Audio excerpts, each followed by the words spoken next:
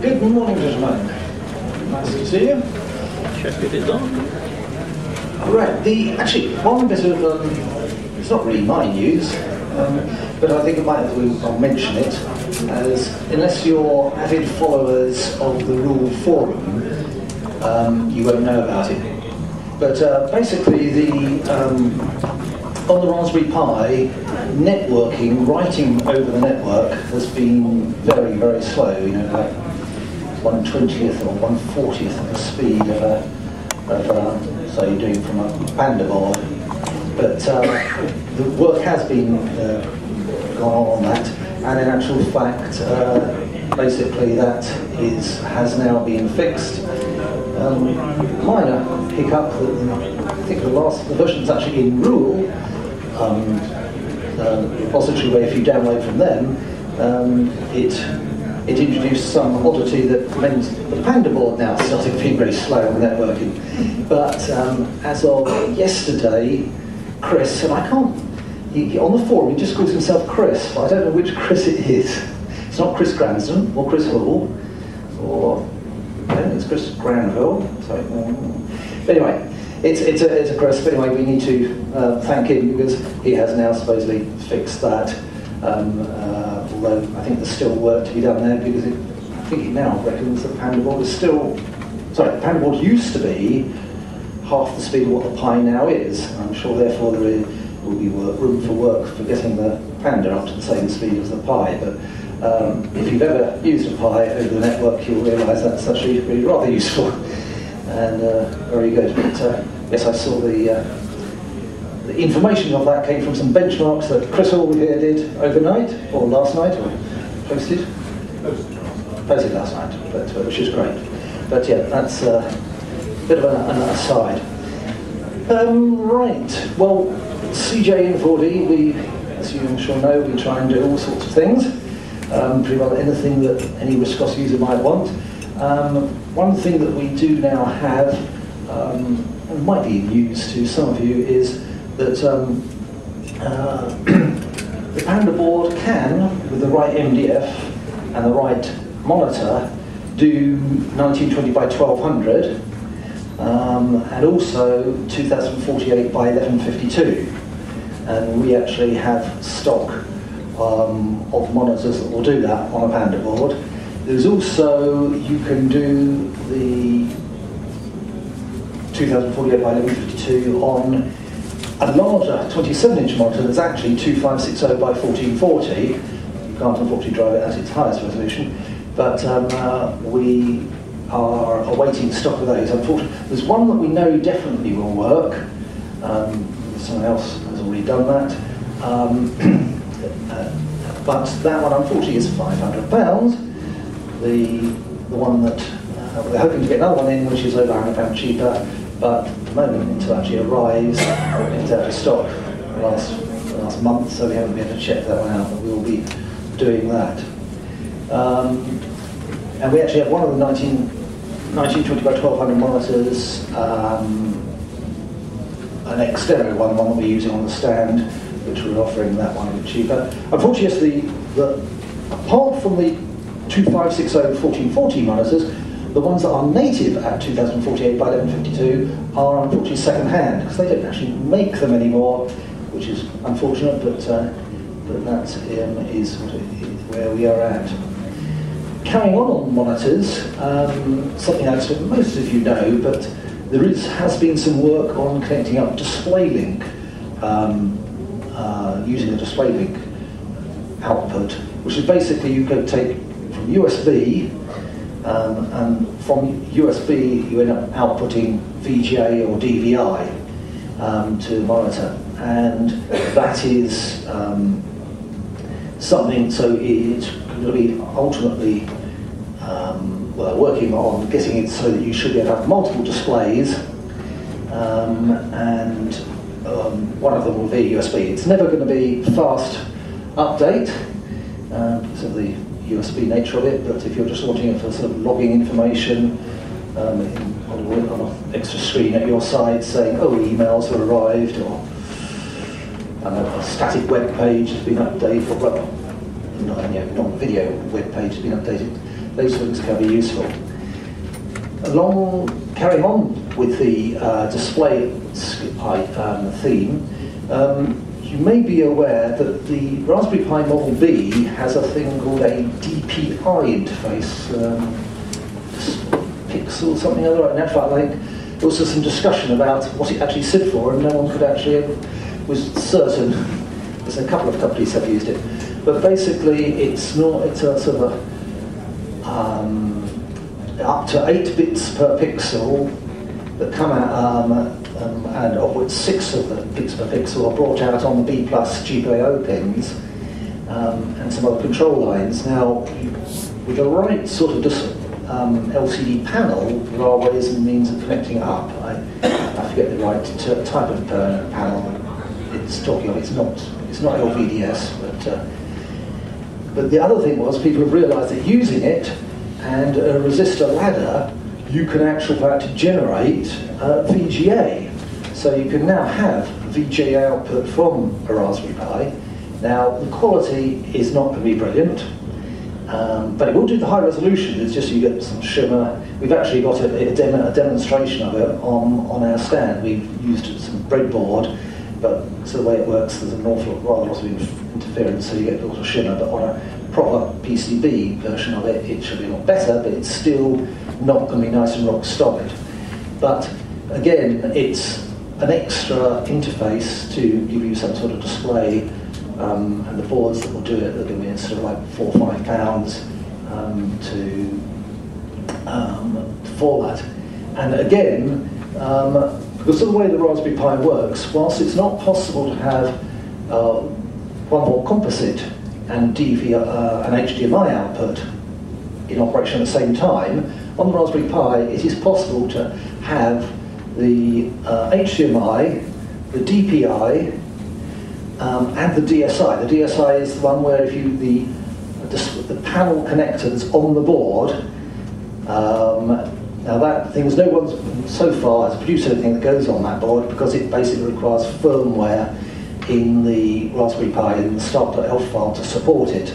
So the Raspberry Pi Foundation have been working on that and have shown, shown prototypes and it's due um, imminently. I think they originally said third quarter but um, it has slipped. But uh, they're going to do a little um, panel. I think it's they're looking. Apparently, I was told they're going to do two different sizes. I think the first one's going to be 10 inch, and it will be touchscreen as well. Um, now that one, as far as we're concerned in the risk RISC OS world, isn't going to be at the moment so useful because um, actually no, sorry, my track of thought here. Um, it is possible, we, we don't know yet, that that will actually just work on, on RISC OS without um, any, uh, you having to do anything. The, going back to the DPI, in actual fact, we haven't actually had that working on RISC OS. Um, there's some, something oddity that's stopping the display from working because it does have to set the GPIO pins up in a particular way. Um, and I think that the RISC OS is then going back and effectively changing that to what it expects. Now we've tried running some software from Tank that uh, should allow us to revert back to what uh, um, we think it should be, but that didn't work, but I'm sure that will get sorted out at some time. But basically, ultimately, it should be able to have, uh, RISC OS should be able to output concurrently at the same time via HDMI, DPI, uh, DSI, um, and a display link.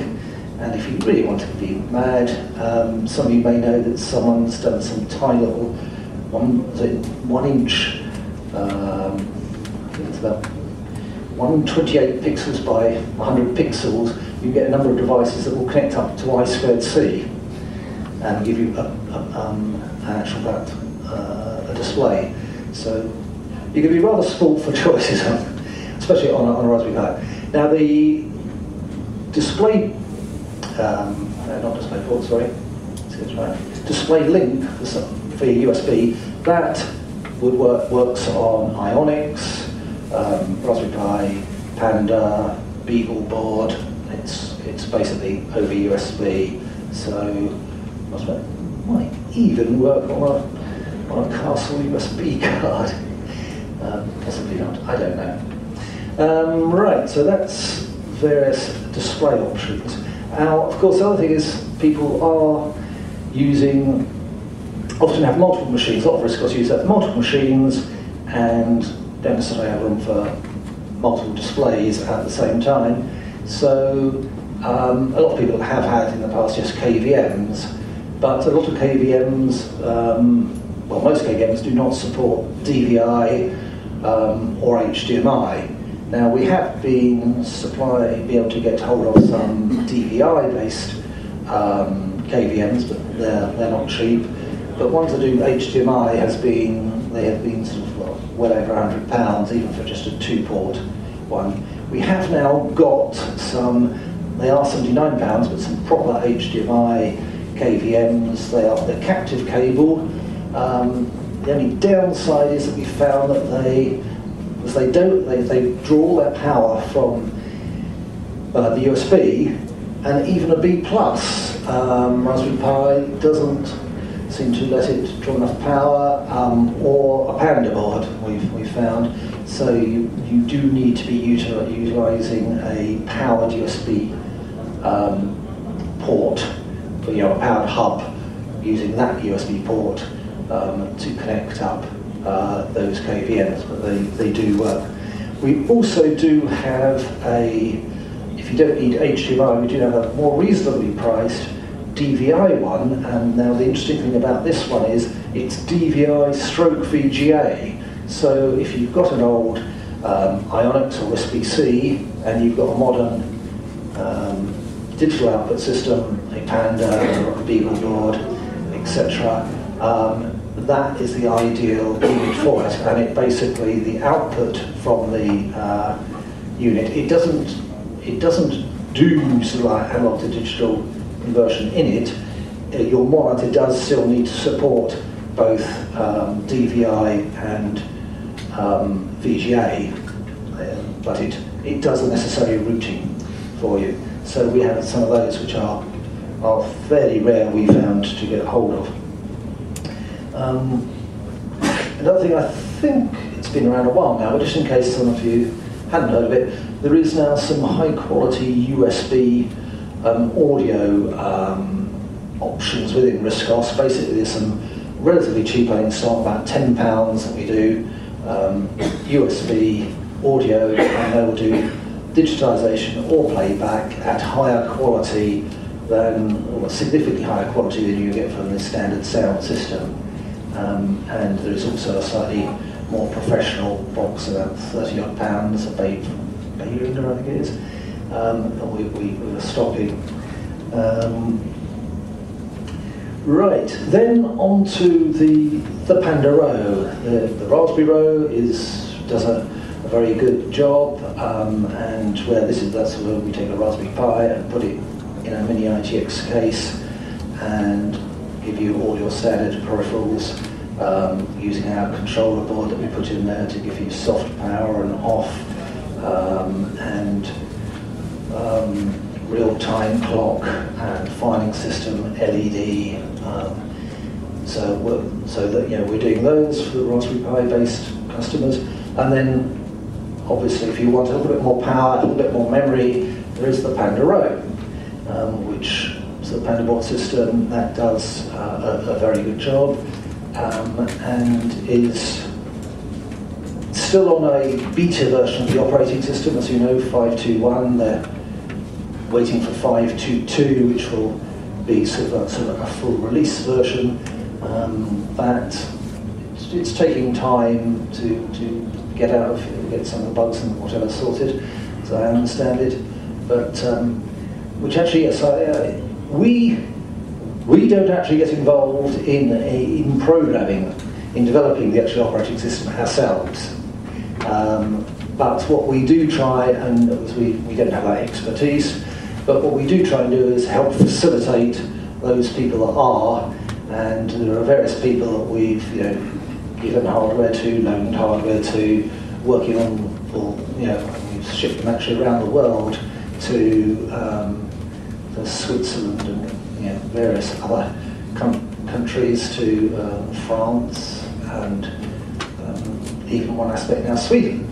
Um, so we um, do what we can. So, uh, for some of it, we have been actually, it's more the fact of trying to obtain the appropriate uh, data sheets, because some data sheets are needed for some of these parts that uh, um, the OMAP chip that Willi, who has been the prime programmer behind the PandaBoard port, has been working on. Some of those are only available under NDA, and most most places will not just sort of give those out to private individuals. So we've been able to sign the appropriate things and yet then pass the information on to um, the various key people who are working on that.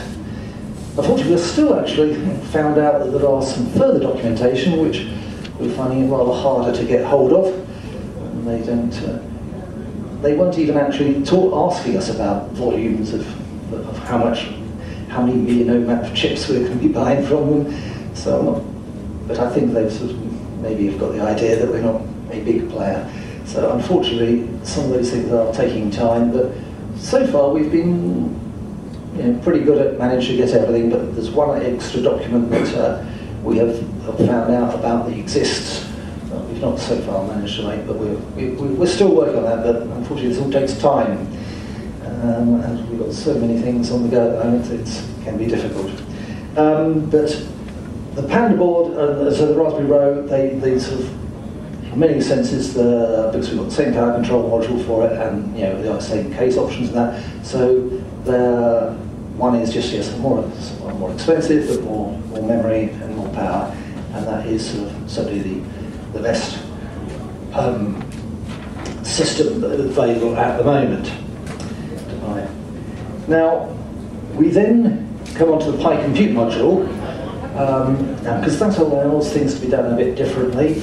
Um, the I'll come on to uh, laptop a bit later, but basically we are still looking at other ways of using the the, the, the, the compute module. Um, don't think it's particularly going to be of great interest to the um, RISC OS community, anything spe um, special, but we're, we're looking at opportunities there, uh, mainly to try and help um, well, you know, generate some extra business, some extra profit, which will uh, plough back into keeping um, us going with, with RISC OS um, on, on that, including we're looking at some industrial type uses um, there and trying to get groups of people, small uh, companies that need um, units but not in large enough volume for them to justify um, designing a board that has, I know, two camera connections on it and Wi-Fi, but pretty well nothing else.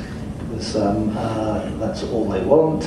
Um, uh, but we're hoping to get groups of companies that have similar requirements so we can design um, a board that the Pi Compute module can go into that will then, um, we can then supply it with maybe um, uh, any expensive components that are not in use for one particular customer will just won't be fitted when they're assembled.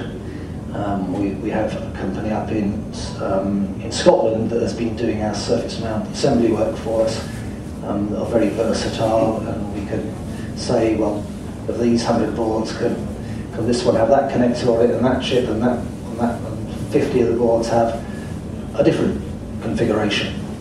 Um, because it doesn't actually, they, they, when they program in the assembly, onto the machines, it's uh, relatively straightforward then to do. So, the um, really, sorry, just one moment.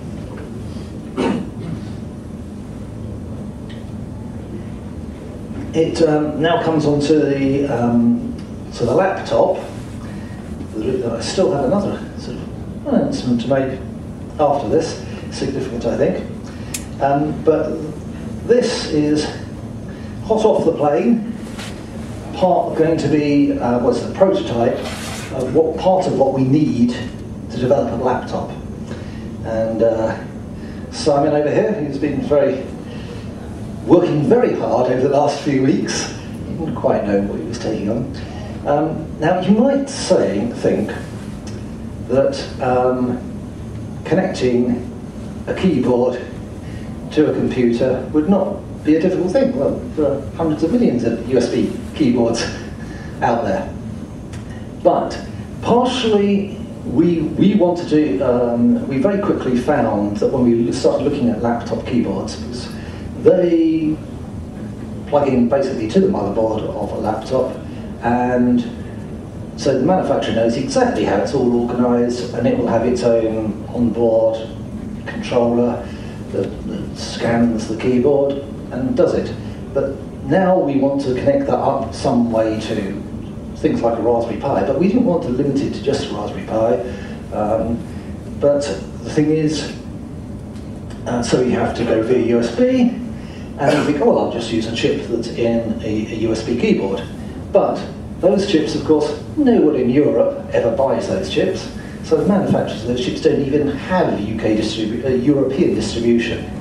And we very quickly found out that some keyboards are organised as like 16 rows by 9 columns, and others are 10 columns by 10 rows, and many, many different arrangements.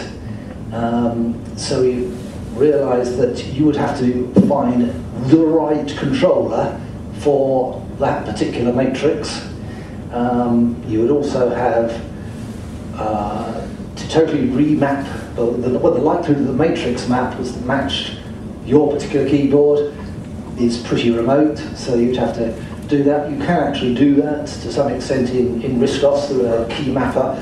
We, we did um, wire one of these, uh, this one, actually yes, this particular keyboard, which comes out of a particular laptop that we've got, um, that uh, to uh, controller board that was from a, uh, a standard USB keyboard, and it uh, um, yeah, the matrix was all wrong, but we were able to use Keymapper to map things around it. That doesn't really work effectively. Now, one of the other things is that we wanted to try and make sure that we weren't limiting ourselves just to one keyboard, um, and I'll come on to that to a bit later, that's another aspect of it. But, so I fairly quickly worked out that we need to um, use something like a microcontroller to actually be the keyboard controller, and it could scan everything that's needed. Um, I did get a little bit hung up at one point because I was trying. I know there's lots of problems with keyboards in that um, because you need to allow the options of having multiple keys, you know, shift, control, well, shift, control, F12, we all know, um, and things like that. Now, I think I've worked out in, my own mind now that part of that problem of making sure that you can get all the key combinations available and reusable um, is partially down to the organisation of the matrix. You can't actually choose just uh, to put shift controlling function key wherever you want. It has to be very particular, so that's, that's done in the matrix for free. But basically by using um, a microcontroller and, uh, so what's it called the other one? Microchip I.O. expander. Um, um, yeah, microchip I.O. expander, second one, because yes, we need to have quite a few, uh, it's about 27, 28 um, I.O. pins just for the keyboard aspect of it. Um, and um, microcontrollers that have 27 GPIO pins start being large and expensive, but by using an expander, then that can be got down. So um, this has been developed, and but the thing is, yes, you can, it can work with multiple keyboards, and the microcontroller on there is, well, with some bit rather nifty software that Simon's written, it can, you plug it in initially, you press a button, and you type. It tells you on screen, because you just load up an editor, and it, via the USB, instructs you what to do. Um, and so it can learn how the keyboard is all laid out and store that, and it's there for, for use. So it's a very, very nifty little thing, and it's going to be working on uh, ways of interfacing um, touchpads, because basically most touchpads um, certainly in, in, historically, have been PS2 devices, um, which is relatively straightforward for a microcontroller to input um, and, and use. So it will, um, one of the other things is, yes, well, you might think that mice buttons would be very simple thing to implement, but it's, it's well, physically is the problem, because, um, I'll show you here. Um, th this is the motherboard out of the laptop that we have decided to base our complete laptop RISC OS solution around. So we will be selling a laptop which will just look like a normal laptop, but when you turn it on, it will be. It'll have a Pi compute module in there. Because we have, we've taken it out, we've taken up, opened it up, taken this out, replaced it with a number of boards, one of which will have the, the keyboard as controller on it, one of which will um, be dealing with the power supply, um, and um, that board will probably also have on it the uh, HDMI to LVDS for the panel, for the screen panel. And then we have a central board um, that will have the Pi Compute module, the USB hubs, um, SD card, uh, connect, uh, interfacing, and um, Ethernet on, on the central board.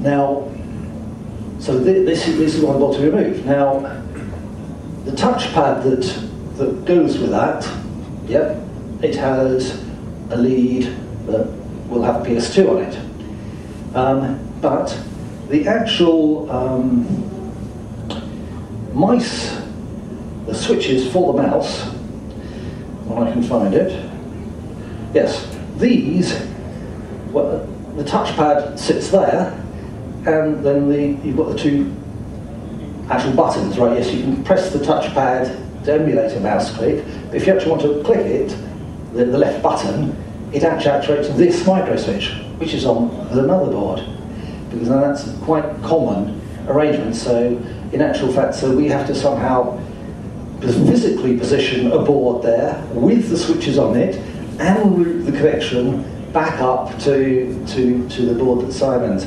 uh, going to be developing to actually get your, your switches. Whilst we're doing that, you'd think, oh, of course, we would love a middle button. Unfortunately, whilst we could do it, there's no no tap. Now the, the button sort of, or the physical outer button, the top button you press, there's just the two of them, and there's I've yet to come up with a way of well, there are ways that people do. I know you use two buttons to emulate mouse, but you've got you, have got the basically the menu key um, on the keyboard, which is fairly close by. So um, if someone can come up with a solution to that, doing that and work on multiple keyboards, uh, laptop keyboards, I'd be very interested. But I, well, a better man than I, but uh, quite a few of these people involved are, I must admit. So, um, on to, so that's basically going to be the, the, the laptop, the, the, basics of it. Now, I, yes, didn't actually leave these on the, um, out the front because I just wanted to, so that people then, it's on the front, front has the basic specification that we're aiming for um, on the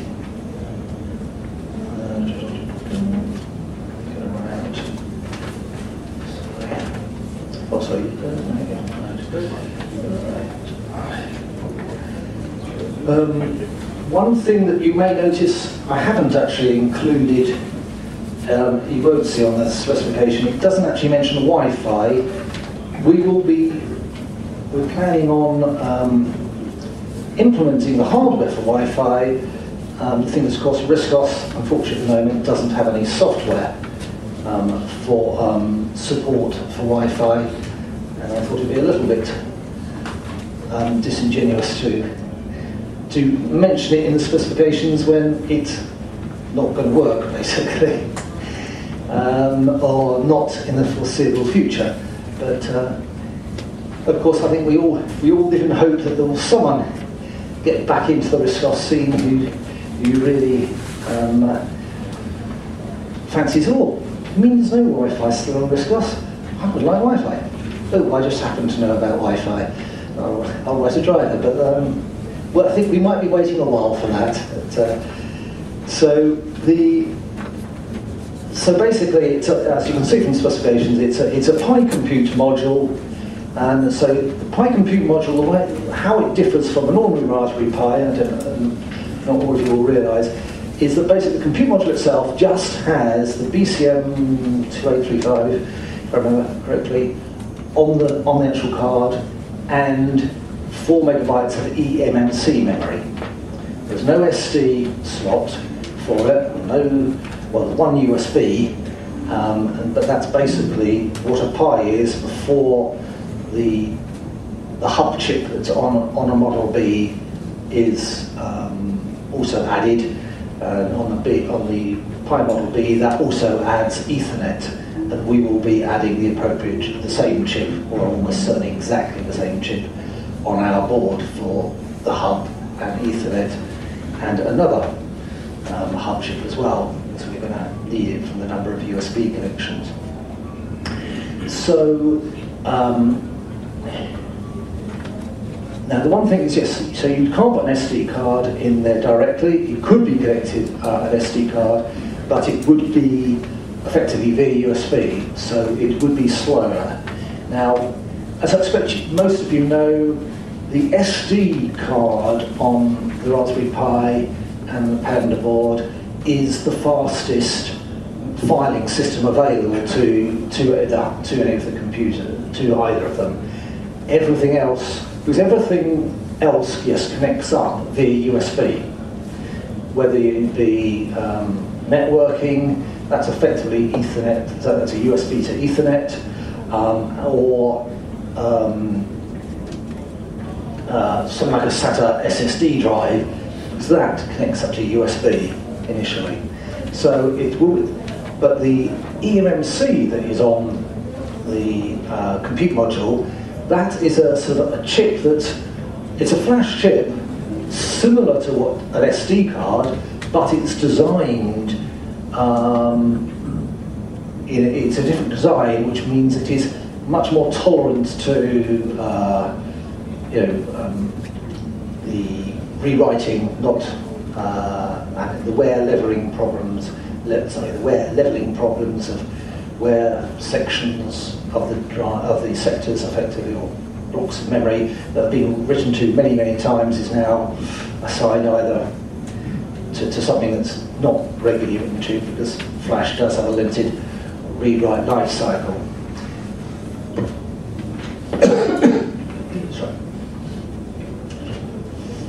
Um, um, is actually um, faster than even a class 10 SD card. Um, that's nice. One downside is that it is only 4 megabytes.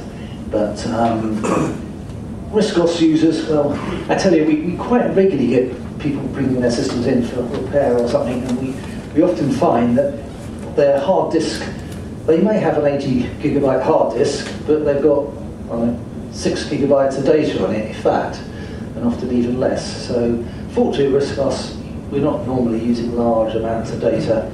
Um, so you, you, keep your things you regularly access on at the moment on your SD card, whether you're using a Pi system or a Panda-based system. Um, and if it ends up being on a Pi compute-based system, you, that will be you keep that on the, the main drive, which will be the EMC, eMMC drive to access that. Um, we will, of course, have things like um, real-time clock, battery control. Um, got no idea yet what the battery life should be, but it should be very good because um, we should be able to draw significantly less power than, uh, than, one of these. Of course, the thing is, things like an SSD drive that we connect up is going to use the same amount of power as an SSD drive when it's using a an Intel Windows-based system. Um, and things like the screen, they obviously using a fixed amount. Although I was quite pleasantly surprised by actually, I looked at the data sheets um, just the other day of the screen that we're hoping, the panel you know, that's in the unit that we're using, and it was quite um, quite reasonable, I thought, the power consumption. Um, so the so yes, it, it doesn't look particularly pretty because we've got the everything all in bits that you can see on the stand, the laptop. But it's basically found this, this company that will provide us a laptop. We couldn't get them to provide it without um, this, but they would provide it to us without operating system, processor, memory, drives, all the other optional extras. So it, the pricing will be able to be um, quite reasonable, we think. We started doing market research a couple of shows ago and asked people what they think a, a RISC OS laptop would be, would cost. Someone said, well, less than an A4. Well, I think I think the A4 was two thousand four hundred ninety-nine pounds. but no, and, and someone was saying, well, if it was nine nine nine, I would still probably buy one. But no, you will um, be very pleased to hear that it's going to be considerably below that. In actual fact, there has someone already just announced um, two weeks, three weeks ago, I think, called the Pi Top and that's where they've developed um, actually a complete a case um, with a panel, and uh, they've done basically the same design as the uh, effective design as this of a, microcontroller to do the keyboard and the uh, tiny touchpad. But this one is they design the case, and you put a Raspberry Pi um, inside it and around it, and they're doing that at a very, very reasonable price of, well, it's under £300. Um, but this system is certainly going to be more than that, but it will be a much more complete system in a number of ways, ready to, to go. One of the other things is that um, we, we, do say on there DVD-RW optional, because one of our thoughts is the fact that um, to try and um, help expand the market for, the, for this, because there are only a limited number of RISC OS users wanting laptops. Um, it would be difficult to justify all the expense. So we obviously want to try and sell it into people that are just standard Raspberry Pi users. And of course, I thought is well, Raspberry Pi users are often they're wanting something like a Raspberry Pi because they want uh, running Linux to be actually connecting up to things. And whilst um, uh, you know how many people need to do that on the move, we, we think there's be some people would like that. So we were thinking, how can we bring GPI, some of the GPIO to the outside world um, in, a, in a laptop case? There's not, where do you put it? Really old laptop case, you could say, well, I'll put it where the parallel port was or something. But what we soon realised was that a lot of people don't actually utilise um, an optical drive. Sorry, excuse me, do I, do I on some? Well, you've got another five Right, okay, I'll have to be quick.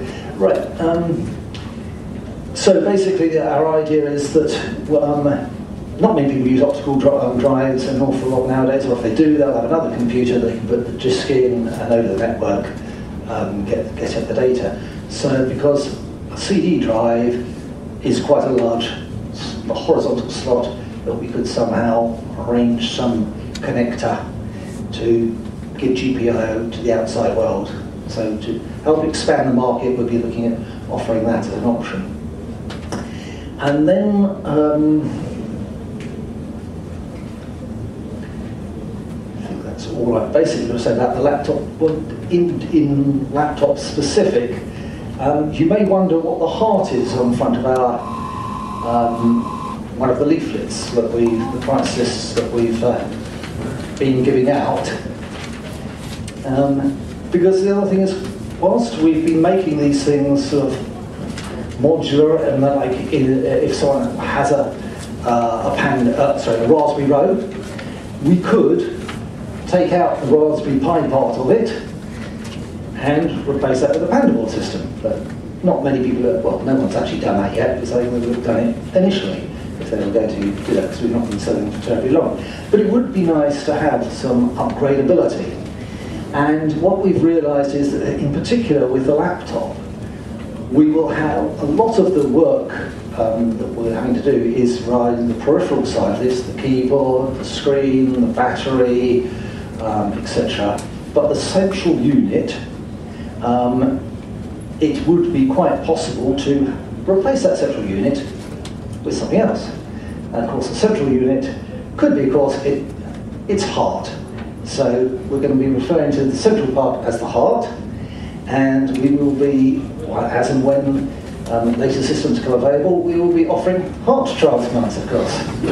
and um, oh yes, yes, I, I've been looking at all sorts of nice sort of phrases we could use that, of course, we really shouldn't call them cases anymore. We should call them bodies because a heart goes in a body.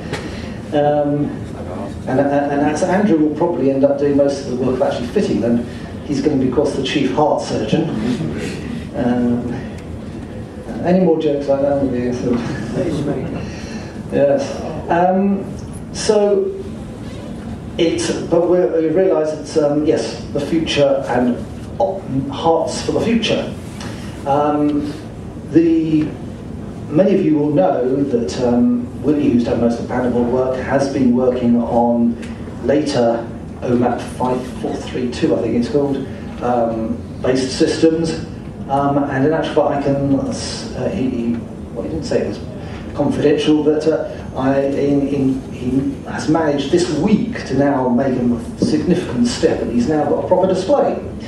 He uh, previously hadn't got a display, but he's, now got the HDMI giving a display. So he's got USB working, he's got Ethernet working at the same time of sorting out the Ethernet. He's now able to upgrade the number of controllers that, that, that is support, the driver support for that and that will be being fed back to ROOL um, sometime soon. Um, and um, so, with the, now the advantage of these these later systems, the OMAP 5 based systems, are primarily the real advantage is the fact that it has onboard SATA, so you'll be able to get faster disk access. Having said that, of course, RISC-OS very rarely uses them the, the drive, so it's not actually going to make, I think for RISC-OS, for most users, it's not actually going to make a lot of difference. But it's a lot of people miss um, the drive. The, the, filing system is a bit slow because yes, it can be slower than you know, like an Iyonix. but basically, so we're going to we hope to be therefore doing some hearts that will fit into PandaRos and RaspberryRos. So we will, with later systems, um, and quite where that's going to carry on, how much sort of after OMAP 5, uh, uh, 5 systems, then, well, presumably there's going to be on it, OMAP 6 systems or other um, uh, RISC-OS uh, system on a chip-based units there are ports for. So there's very interesting times we're now living in for RISC-OS, lots of options, and uh, things happening, which is, is great. Um, unfortunately, I think one of the limitations at the moment is the, tie, the manpower at ROOL.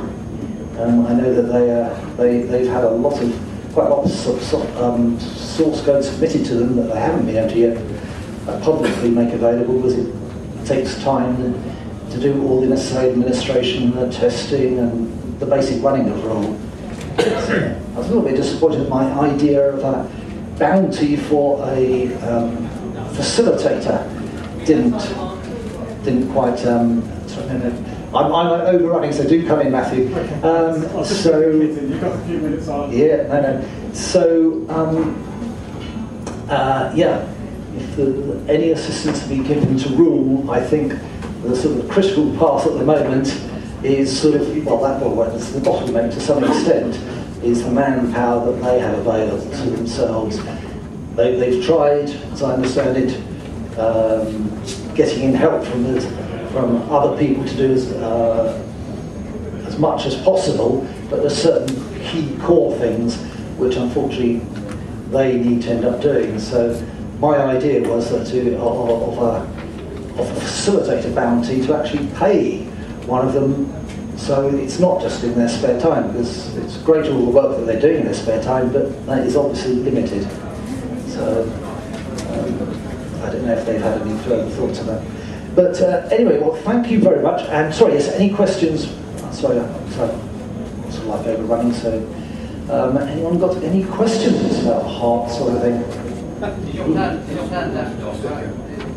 Is the, method of changing one operating system to another based on news or what?